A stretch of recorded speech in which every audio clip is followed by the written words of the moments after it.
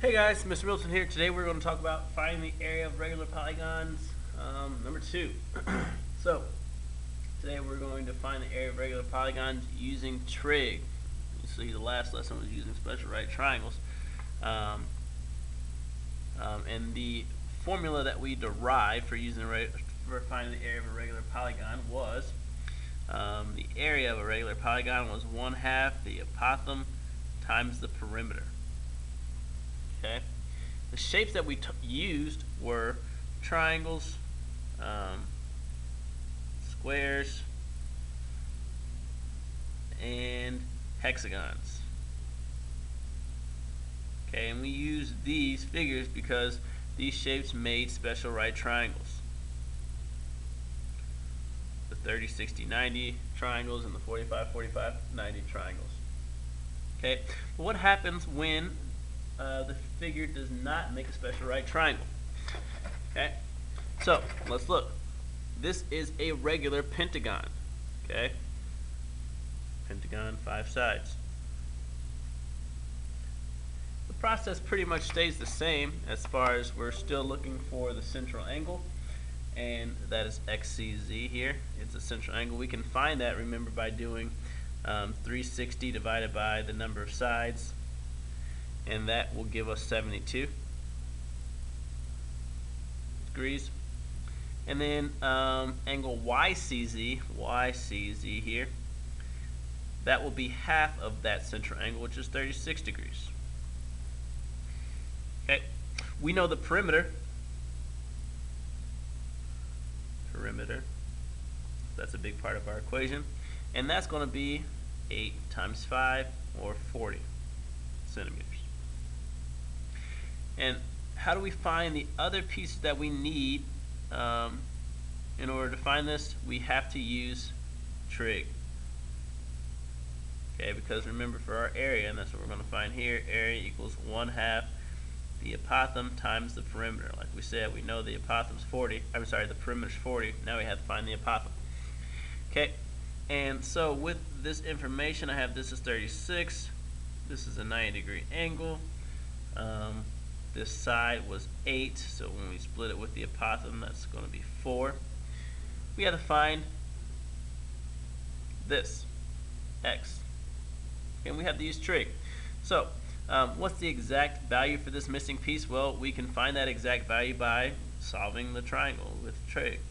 Okay, and so um, what we know then, we know this is 90, we know this is 36, I want to find x, I know this is 4. So in order to find x, I'm going to use my trig, my SOHCAHTOA.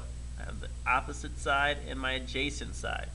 So I can say um, tangent, I'll write it here. Tangent 36 equals opposite 4 over adjacent x. And now I have to solve for x.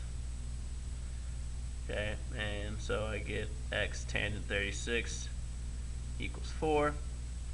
I'll divide by tangent 36 on both sides. And now that gives me my exact value, x equals 4 over tangent 36. Okay, now that's my exact value. And I know it's my exact value. I don't have to round anything. Um, that's it. Um, so now I can use that and I'll try to use and I will use my exact value in my formula so therefore I don't mess up and, and round early and, and affect what my final answer is. So I can find the area of this pentagon by doing 1 half the apothem, which will be 4 over tangent 36, and you can use that, remember, in your calculator. We'll, I'll show you in your calculator how to do that. Times the perimeter, which we said was 40. Okay, so now go into my calculator. I'm going to do 4 over tangent 36. Okay, that gives me a big long number. I'm going to multiply that by 40. Okay, and then I'm going to divide that by 2. You see I did not have to round anything. And so then my final answer is 110.1. Um, what was that figure? Centimeters squared. Okay. the bigger your numbers are, the more rounding incorrectly or rounding at all really will affect your answer. So, when possible, we want to use our exact um, value to, to get to our final answer. All right, uh, it says find the area of a regular octagon with a radius of 9 feet. Give your answer to the nearest tenth. So, um, I can draw this octagon out. Um, mm, maybe, hopefully I remember how to draw octagon. Nope, that's definitely going to be a hexagon. Nope, nope, I got it. Alright. Alright. So, it won't be pretty, but that's okay. I'm going to find my triangle. I'm going to use it to, to find my sides, and then we'll be on our way. Alright. So they told us that in this octagon, I'm going to draw center. I'm going to draw my apothem. I'm going to draw my radius, which they told us was 9.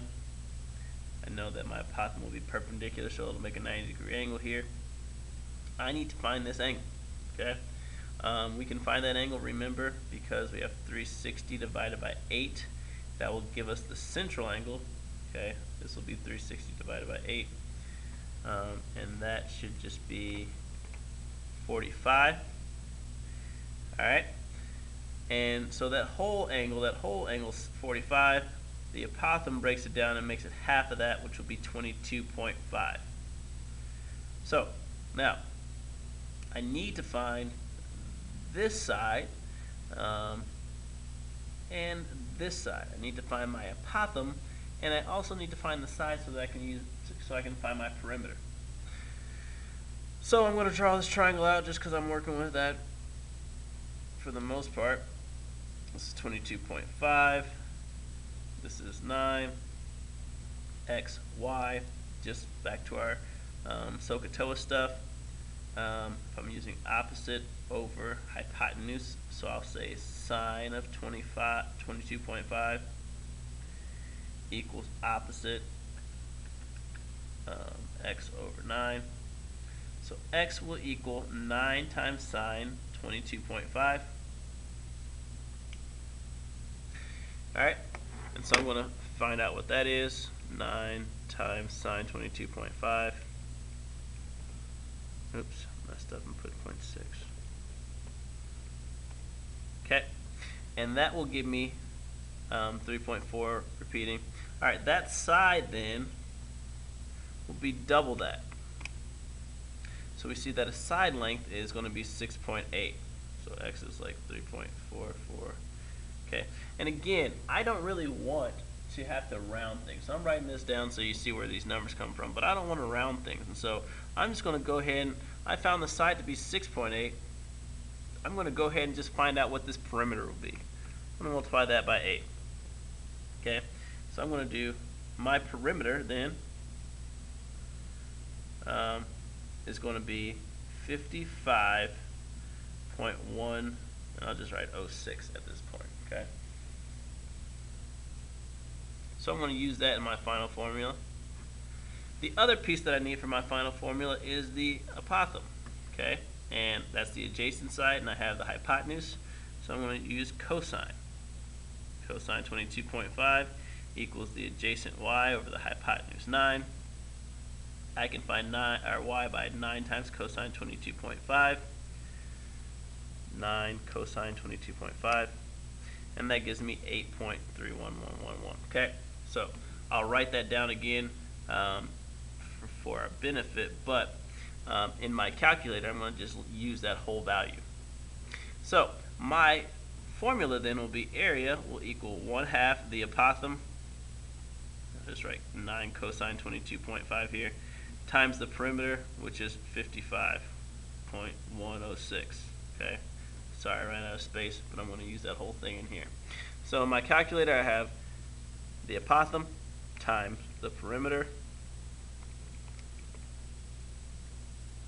um, divided by 2, or times 1 half. So my area will be 22.9 feet. Or sorry, 229.1 feet to the nearest tenth. Squared. Because it's area. Okay, so now we're just using trig to be able to find those sides and um, missing measurement. Okay, this next formula is going to seem a little bit unconnected with what we're doing, but uh, we're doing it now because it involves area and trig. Okay. In the triangle below, we only know B, C, and the measure of angle A. So all the things in blue. I'm going to show you kind of how H and um, these sides are related. Alright, so we all know the area of the triangle is 1 half base times height. 1 half base times height. Okay. Now, um, we don't know the height in this case, and so this is why it's going to be important to see how it's related to, to um, A, B, and C. If we want to find this height, well, let's just look at this. This height, actually sine A is going to be the opposite over the hypotenuse. This height over C, that side. And so if we want to get height by itself, we could multiply both sides by C, and we would see that C sine A will equal the height. And so what we see here, H equals C sine A. And so what we can do is actually put this in our equation and we can find the area by doing 1 half B C sine A. I shouldn't put that in.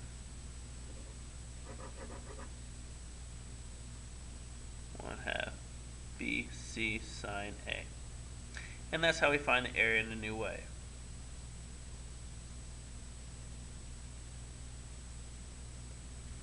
Alright, so let's put that into practice here.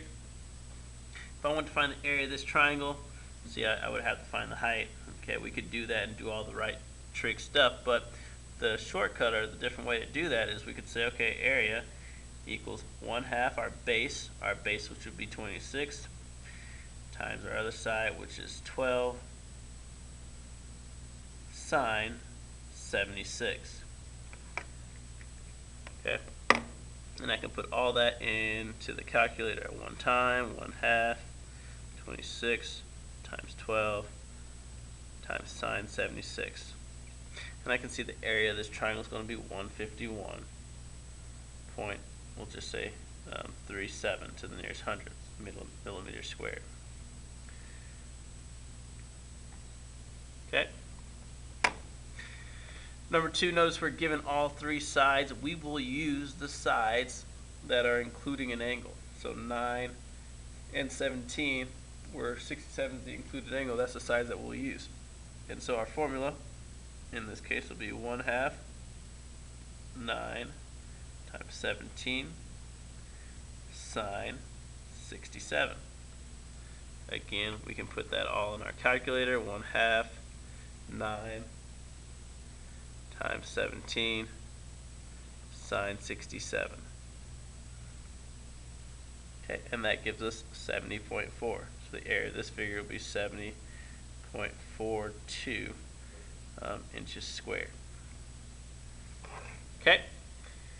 All right, so um, we talked more about finding the area of regular polygons um, using the one half apothem perimeter equation. And then we also talked about trying to find area of triangles in a different way um, using 1 half BC sine A. Alright, see ya.